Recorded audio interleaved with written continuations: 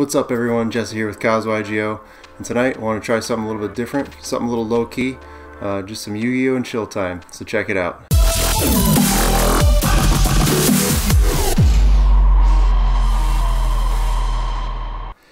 Alright guys, so what I have planned for this uh, little episode here, um, something I like to do uh, to relax after like a long week or something, just either you know do some deck building or some pack opening and just kind of relax maybe have a drink or something and just kind of like unwind and just kind of you know just enjoy the game in like the most simple state possible not playing just kind of like enjoying the cards uh, enjoying the deck theories um, so tonight uh, what I got for you guys uh, got had some packs of Rising Rampage left over so uh, we're just gonna open those up uh, maybe talk about the ban list a little bit I know a lot of people are doing that already and um, also uh, tonight, I'm um, going to get into a nice Founder CBS. It's a really good stout.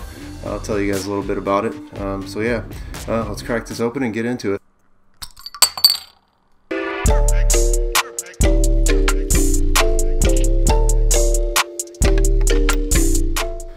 Alright guys, first sip out of the way. So, stout is uh, obviously a very dark beer, looks like motor oil. but They're super flavorful. Um, this specific one is kind of rare. It's the limited release. Uh, it's got some notes of like coffee and chocolate, and like maple syrup. And uh, CBS actually stands for Canadian Breakfast Stout. So if you guys are into craft beers, I highly recommend this one. It's from Founders Brewing in Michigan. Uh, definitely want to check them out. Super good. Uh, just good beer to you know just chill out with. So yeah, um, kind of get into these packs, open them, kind of maybe talk about the ban list a little bit. I know a lot of people were have been posting ban list videos already, talking about you know Orcust needs to get hit and like we need a completely new meta. But um, my thoughts on it, um, I definitely think Orcust will get hit. Uh, BES Cannon Core is our first uh, super rare.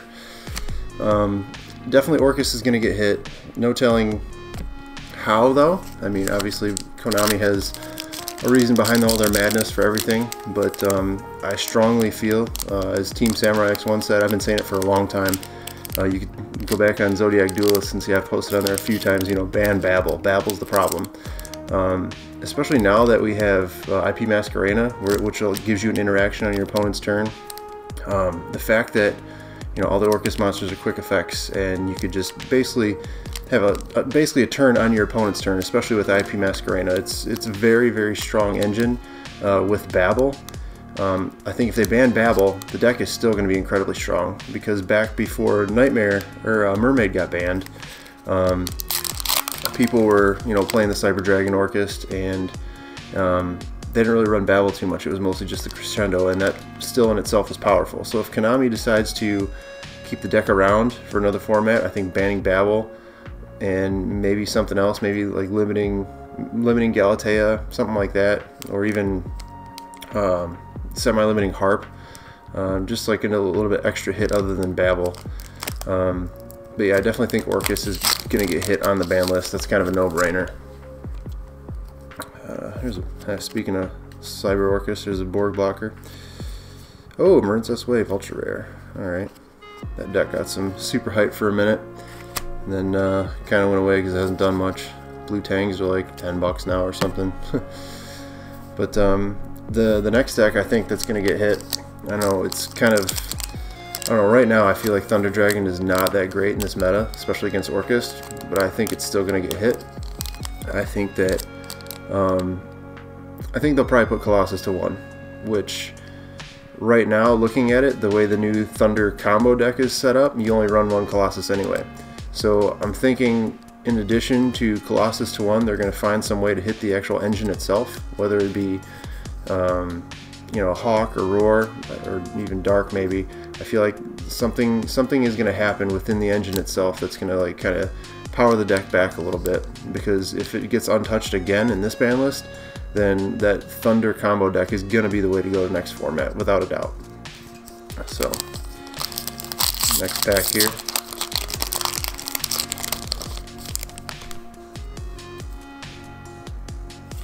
Return of the Normal. Oh, Witchcrafter, secret rare. Alright, cool. So, so far a Super, an Ultra, and a Secret. Digging it. Maybe we can get a prismatic. That'd be pretty sweet. I don't know if you guys got a chance to catch that uh, episode I did uh, last week or something. I pulled that prismatic. It was pretty sweet. Pretty stoked about that.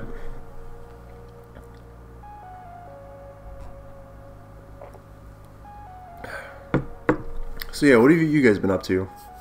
Opening packs, checking out all the ban list videos, stuff like that. Um, let me know down in the comments. I'm curious to see what you guys have been up to. Um, also, something else I've kind of noticed past uh, you know week or so here. A lot of people have been posting deck profiles, um, you know, playing on YGO Pro, and all of them have needle fiber in it. Like everybody is building decks with needle fiber already, testing it out because we're getting it in Duel Overload. Um, I think Konami's going to do something with that on the ban list as well. Not saying you know they're going to ban needle fiber before it comes out, but they're going to make preemptive hits um, to cards. I don't know, like well, I don't know if they've banned Glow-Up Bulb or anything like that, but I'm sure that there are other cards that can be abused heavily with needle fiber, and um, I feel like Konami's probably thinking ahead, and they're going to make some some hits, and people are going to be like, why, why, why hit this card? But you know, they're probably going to be preparing to to get that card in this meta.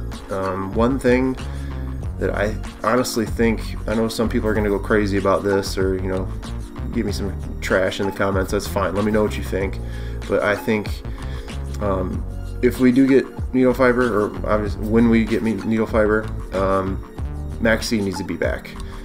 And let me tell you my reasoning. Because with needle fiber, people are going to be special summoning like crazy. And I feel like something that's going to put doubt in everyone's mind and maybe kind of hold them back is Maxx C. That's why it's legal in the OCG right now. And that's why, you know, needle fiber is not banned yet. Um, because they have that the checks and balances with the Maxx C and the needle fiber.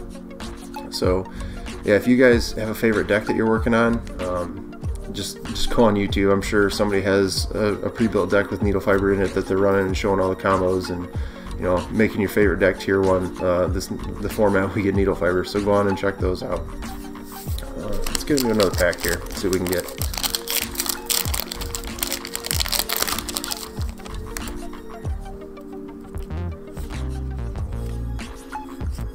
Link Mail Archfiend. Alright.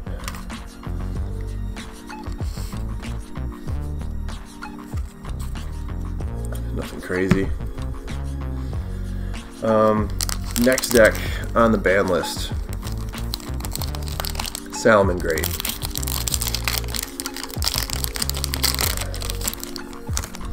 I'm not sure how, but I know that if it goes untouched again, it's going to be tier 1 again, and I think Konami is going to drastically change the meta. I think they're going to want some other decks to emerge as, you know, tier 1 decks. But, I mean, Konami just, just make better decks. I mean, the, um, or at least uh, some better archetypes. I mean, the uh, the Unchained stuff looked pretty interesting there for a little while. The, the um, Marincess stuff looked pretty okay for a little while but none of it matches the power of you know your Salamangreats, your Orcust, your Thunder Dragons, and I think I, know it's going to be kind of power creep, but I feel like that's kind of the way we're going with the new game mechanics, or well, the, link summoning and everything. It's new to me. It's just like like I said, I've, I haven't even been playing the game for a year yet, so so. But um, but yeah, I just think that's the way it's going. I mean, they're gonna have to come out with another deck, like you know, like another Sky Striker um, came out in uh, Dark Savior. So we're gonna need a, a, set like that with with a deck or um, um, an archetype like that. We're just gonna make a huge impact right away for a long time. So um, hopefully we, we get that here in uh, Ignition Assault. Storm Dragon's Return. It is not the Prismatic though. It'd be sweet if we pull a Prismatic doing this. It'd be kind of take this from Yu-Gi-Oh! and Chill to Yu-Gi-Oh! and Thrill. But um, yeah, I'm not expecting to anything too crazy. Like I said, just hanging out, having a discussion, opening some packs. I love craft beer. It's one of my favorite things. Um, I'm not like a huge heavy drinker or anything. Uh, I just really I enjoy like a dessert beer like this once in a while, or maybe a beer with dinner or something. And just when I'm you know trying to to de-stress from like a long week at work or something. speaking of which, that's kind of why my videos have been uh, lacking a little bit here. Is uh, I'm on I'm working overtime now, and I'm an electrician, so it's kind of like heavy, hard work. Um, so haven't really had a lot of time uh, to make new videos. So had a little bit of time this evening. Figured I'd shoot this one and uh, trying something new. See if we can get something fresh going. Oh, anyway, I think I just went on a huge rant and didn't even talk about Salamangreat. Um, Salamangreat, yeah. Um, things they could do to hit Salamangreat. Gazelle's already to one. Um, they could they could do something with Spinny, or uh, perhaps the, the extra deck monsters, maybe um, Sunlight Wolf or Balelynx. Honestly, I think Sunlight Wolf would probably be the way to go. Maybe put it to two. Um, but honestly, I just without completely obliterating the deck, I can't see them, you know, doing anything too crazy.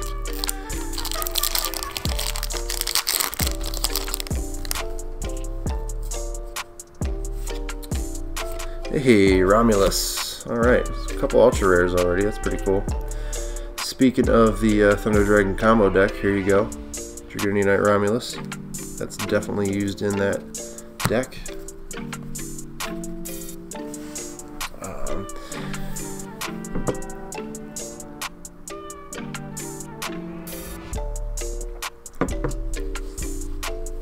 okay, so another huge topic for ban list discussion is Sky Strikers. Whether it be, you know, Sky Striker Orcust or just Sky Striker in general. The deck is super good still, even with Widowmaker to 1. Um, it's extremely strong because of Engage, because of that draw power. I know a lot of people now are like, oh, yo, ban Engage, ban Engage.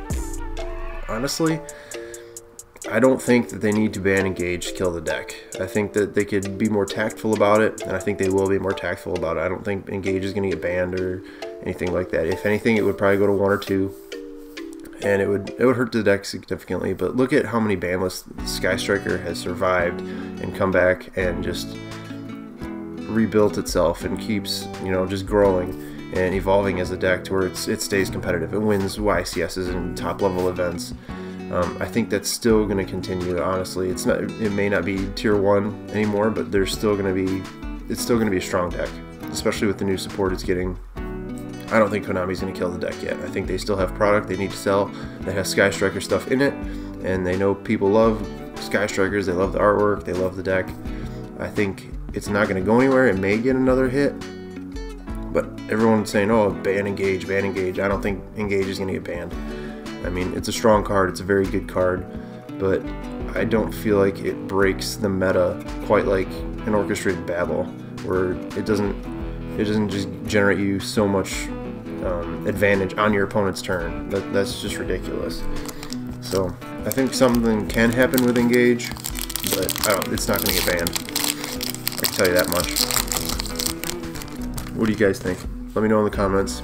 Uh, is it going to get banned? Do you want it to get banned? What cards do you guys want to get hit on the ban list? A, a Dreamer of Joy, super rare.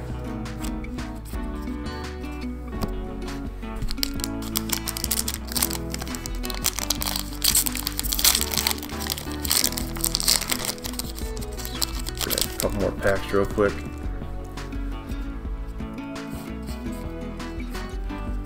Hypernova Burst. I remember pulling a lot of that when we did those boxes on the channel. A Ton of Hypernova Burst, a ton of Storm Dragon's Return. Be sweet to get a Prismatic out of this though. Definitely would. I'd be pretty happy. Uh, so yeah, what else can we talk about? I feel like covered pretty much everything on the ban list that I feel like is important. I'm sure there's going to be some some absurd, absurd stuff that happens. You know, like you know, super rejuvenation to three at the last, on the last ban list is just kind of out of nowhere. I'm sure there's going to be things like that on this as well, but you can't really speculate too much on that. On that, something comes out of left field, uh, such as that did. Um, but yeah, I'd like to see Maxx C off the ban list, and um, honestly, Harpy's Feather Duster, like why not? We're getting that that new card. Uh, what is it? Thunderstorm. That's basically Harpy's Duster, Feather Duster on crack. So I don't see why they wouldn't put Harpy's Feather Duster back to one or something. All right, another uh, super rare. Dreamer Mara. Another one we pulled quite a bit of.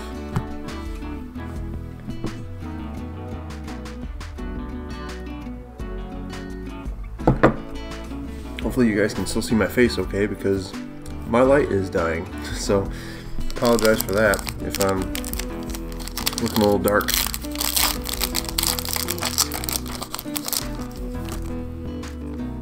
Let's see what we got in here. Uh, another uh, blaster cannon core. I'm gonna reorganize these a little bit. Put the cool stuff on one side and the garbage on the other.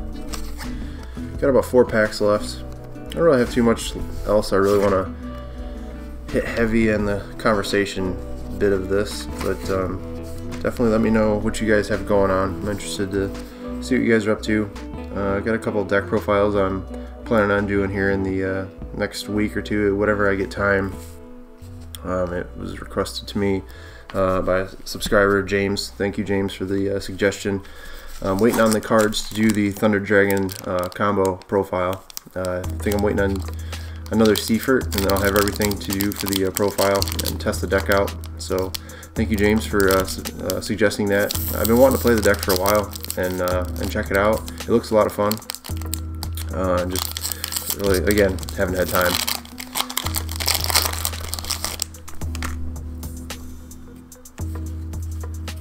White Howling pretty good uh, trap card. Three packs left here. Let's see if we can uh, see if we can do something good with this.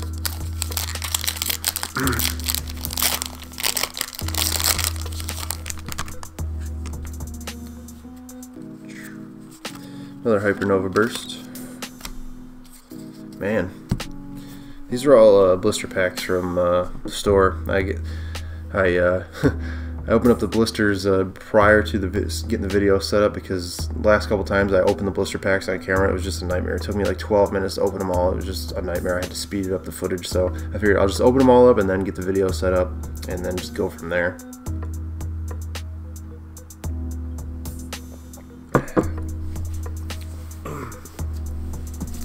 So yeah, Christmas time's upon us. Uh, what do you guys uh, think you're gonna get from Santa? you want some uh, booster boxes, some, uh, packs, or you're you just going to buy some singles? If you are going to buy some singles, please use my TCG player link in the uh, description below. Definitely helps out the channel. As you can see, I now have a face cam. Thanks to you guys, I appreciate it. Um, you guys have been using the link, and I, I greatly appreciate that. And um, yeah, I completely forgot I have a face cam now. I was going to mention something about that and uh, completely slipped my mind, but I'm sure you guys can tell by now that we're pretty much done with the video. Uh, let me know what you think.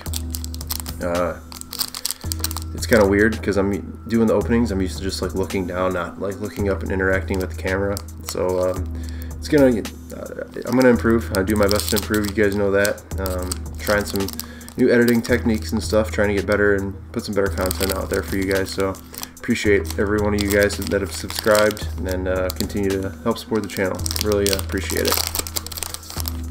So last pack here. Let's see if we can end on something cool. Oh, another super rare. Berserker of the Tenyi. So, uh, yeah, to recap, opened some packs up, talked about the ban list. Let me know what you guys think, um, what you guys want to get hit, what you think's going to get hit. Um, and uh, let me know what you want me to do in the next episode of uh, Yu-Gi-Oh! and Chill. I'm going to try making this a regular session. Uh, I think it's something pretty cool, low key. Like I said, just something cool to just kind of relax, have a uh, casual conversation. So um, appreciate you guys sticking around. Cheers to you, and uh, I'll see you in the next episode.